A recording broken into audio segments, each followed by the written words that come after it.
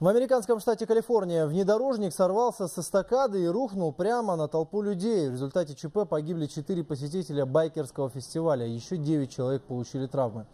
По словам полиции, водитель машины потерял управление, пробил защитное ограждение и автомобиль упал на территорию парка с высоты около 18 метров.